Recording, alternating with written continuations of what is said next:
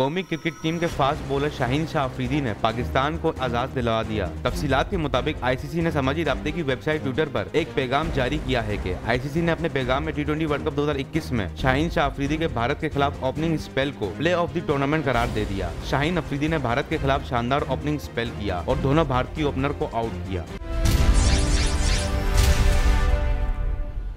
बोल ब्रीफ्स की वीडियो सबसे पहले देखने के लिए बोल ब्रीफ्स के चैनल को सब्सक्राइब करें और बेल आइकन पर क्लिक करना ना भूलें।